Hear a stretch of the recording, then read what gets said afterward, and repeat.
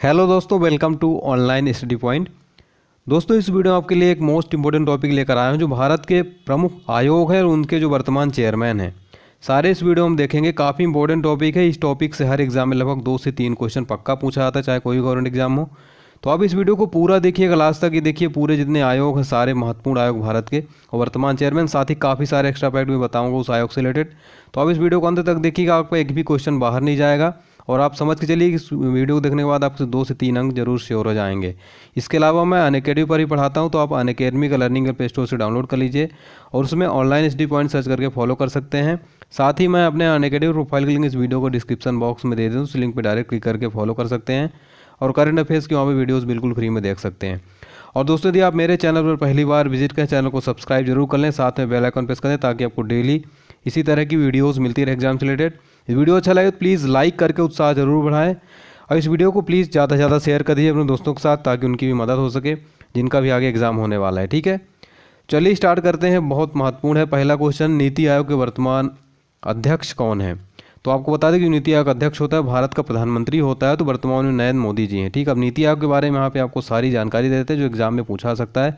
सबसे पहले तो नीति आयोग का फुल फॉर्म पूछा जाता है, national institute for transforming India. ठीक है national institute for transforming India इसका फुल फॉर्म है, ठीक है?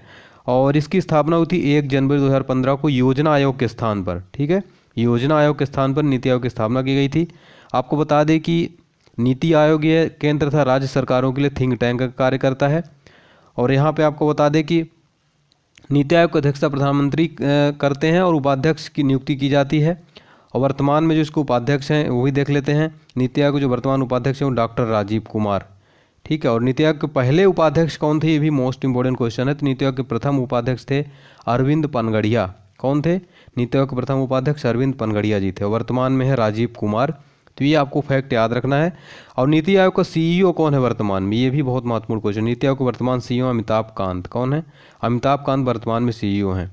तो ये फैक्ट आपको याद रखना ठीक है? नीति आयोग के जो अध्यक्ष हैं, वर्तमान नरेंद्र मोदी जी पदेन अध्यक्ष, उसके अलावा उपाध्यक्ष डॉक्टर राजीव कुमार। आप देख लेते हैं, संघ लोक सेवा आयोग अध्यक्ष। इसी तरह मैं हर क्वेश्चन में एक्स्ट्रा फैक्ट शेयर करता हूँ तो वीडियो को लास्ट तक देखिएगा।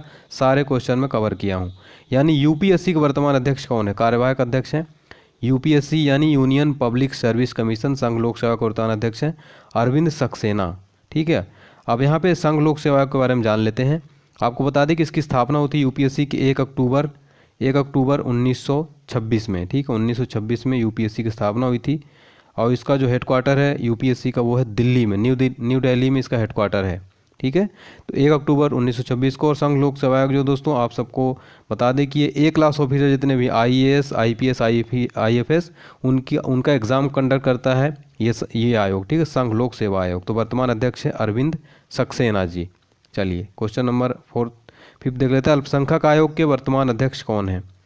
तो अल्पसंख्यक आयोग के वर्तमान अध्यक्ष हैं गैरल हसन रिजवी ठीक है? गैरुल हसन रिजवी। ठीक है? गैरुल हसन रिजवी। तो ये आपको याद रखना अल्पसंख्यक आयोग की स्थापना कब हुई थी ये भी क्वेश्चन आपसे ज़रूर पूछा जा सकता है। तो स्थापना हुई थी उन्नीस सौ बानवे में ठीक है? माइनॉरिटीज़ कमीशन की स्थापना हुई थी उन्नीस सौ बानवे में।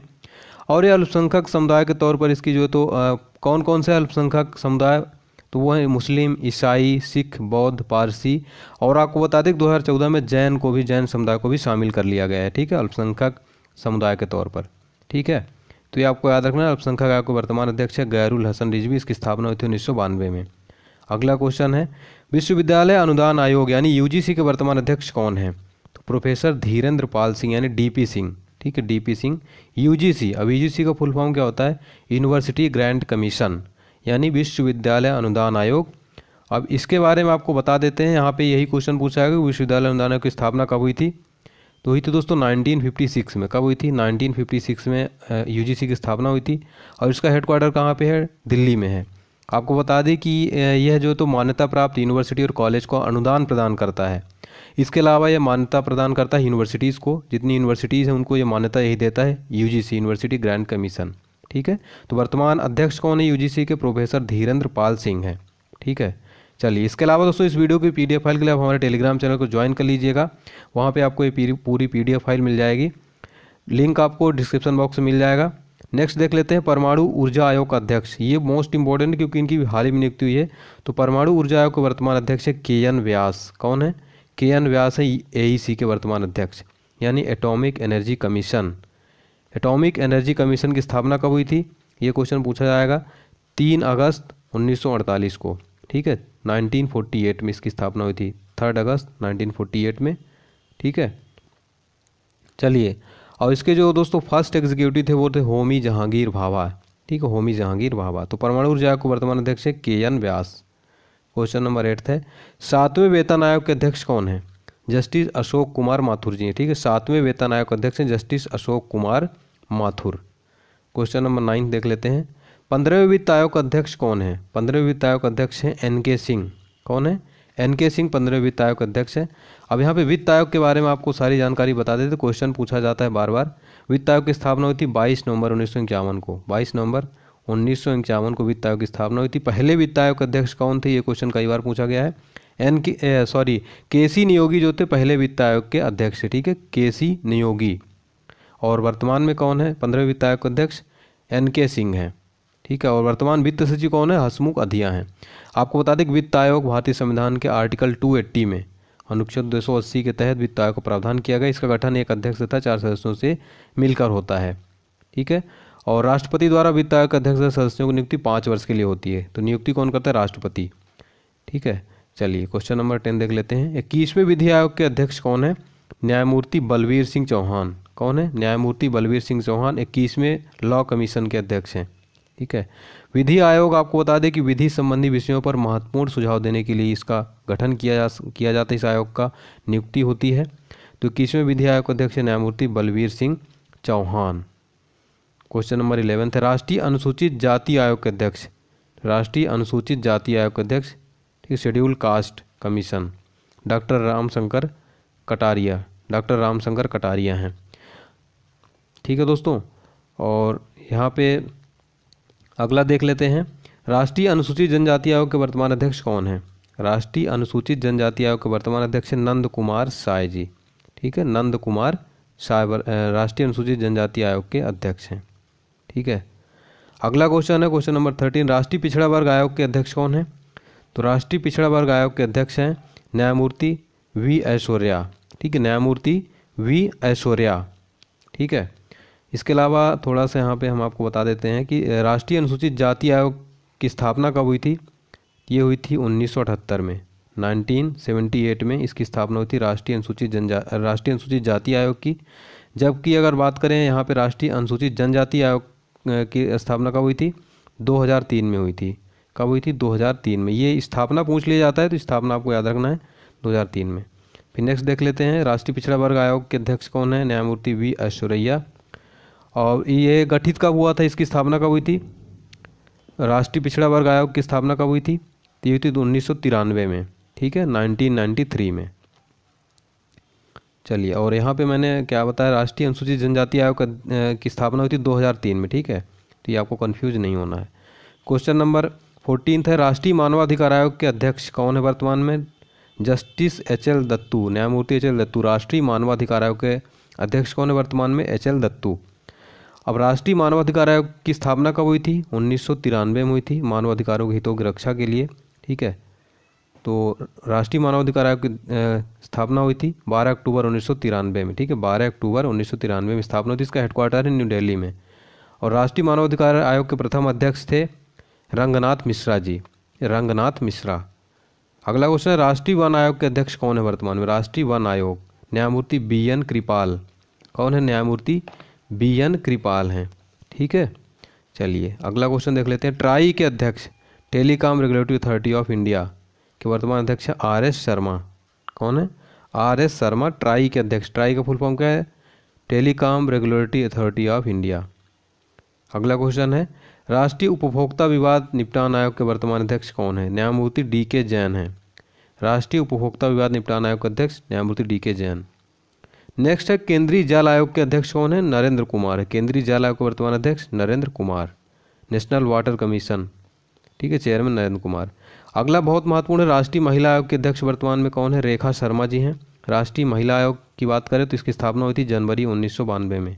ठीक है 1992 में स्थापना हुई थी राष्ट्रीय महिला आयोग की। और जो पहली राष्ट्रीय महिला आयोग की प्रथम अध्यक्ष कौन थी? जयंती पटनायक। ठीक है, जयंती पटनायक जो है, राष्ट्रीय महिला आयोग की प्रथम अध्यक्ष थी वर्तमान में अभी नियुक्त किया गया रेखा शर्मा जी को। तो ये भी आपको फैक्ट याद रखना है। नेक्स्ट देख लेते हैं। राष्ट्रीय बाल अधिकार संरक्षण आयोग के वर्तमान अध्यक्ष कौन है? स्तुति नारायण कक्कड़। राष्ट्रीय बाल अधिकार संरक्षण आयोग के अध्यक्ष कौन है? स्तुति नारायण कक्कड़। नेक्स्ट है केंद्रीय सूचना आयोग के मुख्य सूचना आयुक्त कौन है वर्तमान में? केंद्रीय सूचना आयोग के मुख्य सूचना आयुक्त कौन है वर्तमान में?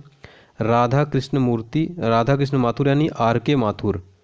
आर के माथुर इनका शॉर्टकट नाम है। केंद्रीय सूचना आयोग के मुख्य सूचना आयुक्त राधा कृष्ण माथुर और केंद्रीय सूचना आयोग की स्थापना कब हुई थी? 12 अक्टूबर 2005 को, ठीक है? 12 अक्टूबर सन 2005 में केंद्रीय सूचना आयोग की स्थापना की गई थी। मोस्ट इंपॉर्टेंट है या जितने भी मैं सन बता रहा हूँ, स्थापना बता रहा हूँ, ये याद रखिएगा, अक्सर पूछ लेता है। नेक्स्ट देख लेते हैं ट्वेंटी टू नंबर क्वेश्चन राष्ट्रीय सतर्कता आयोग के वर्तमान अध्यक्ष कौन है? शरद कुमार है, ठीक है? सेंट्रल विजिलेंस कमीशन के वर्तमान अध्यक्ष हैं शरद कुमार। अब सतर्कता आयोग की स्थापना कब हुई थी? 11 फरवरी 1964 में, ठीक है? 11 फरवरी 1964 में इसकी स्थापना हुई थी। अब ये क्या है ये राष्ट्रीय सतर्कता आयोग? तो भ्रष्टाचार नियंत्रण की एक संस्था है, ठीक है? भ्रष्टाचार नियंत्रण की संस्था corruption twenty three number question है। राष्ट्रीय सांख्यिकी आयोग के अध्यक्ष कौन है? डॉक्टर राधा विनोद बर्मन। राष्ट्रीय सांख्यिकी आयोग के अध्यक्ष डॉक्टर राधा विनोद बर्मन। केंद्रीय जल आयोग के वर्तमान अध्यक्ष कौन है? R C Jha. ठीक है, आर सी झा केंद्रीय जल आयोग के वर्तमान अध्यक्ष हैं। ठीक है नेक्स्ट देख लेते हैं। भारतीय प्रतिस्पर्धा आयोग के अध्यक्ष। भारतीय प्रतिस्पर्धा आयोग के अध्यक्ष देवेंद्र कुमार सीकरी। कौन है? देवेंद्र कुमार सीकरी भारतीय प्रतिस्पर्धा आयोग के अध्यक्ष हैं। लास्ट है, केंद्रीय विद्युत नियामक आयोग के वर्तमान अध्यक्ष कौन है? जी वी प्रधान है। केंद्रीय विद्युत नियामक आयोग के अध्यक्ष कौन है? G V Pradhan. तो ये आप चीज़ों को क्या इसको अपने नोट्स में ज़रूर नोट करिए, उसके साथ डेली रिवीजन करिएगा, तभी याद होंगी चीज़ें, ठीक है? कम से कम इसको दो से तीन बार दिन में देखिएगा और एक सप्ताह में एक दो बार रिवीजन कर लीजिएगा। कम से कम पाँच से छः बार जब रिवाइज कर लेंगे तो आपकी चीज़ें कंठस्थ हो जाएँगी। काफ़ी अपडेटेड लिस्ट है बहुत इंपॉर्टेंट क्वेश्चन है, ज़रूर पूछा जाएगा, इसलिए आपको इसको याद रखना है, ठीक है? तो आई होप आपको वीडियो पसंद है प्लीज़ वीडियो पसंद है तो लाइक और शेयर ज़रूर करिएगा और चैनल को सब्सक्राइब करके जाइएगा, साथ में बेल आइकन प्रेस कर दीजिए। और आप हमारे फेसबुक पेज को ज़रूर लाइक कर लीजिए। वहाँ पे मैं daily notes current affair related और प्रीवियस ईयर के क्वेश्चन इंस्टाग्राम पे शेयर करता हूँ। ऑनलाइन एच पॉइंट से फेसबुक और आईडी पेज दोनों है मेरी इंस्टाग्राम पेज तो आप दोनों को लाइक और फॉलो कर लें ताकि आपको वहाँ पे अपडेट्स मिलते रहें। लिंक आपको वीडियो को डिस्क्रिप्शन बॉक्स में मिल जाएगी।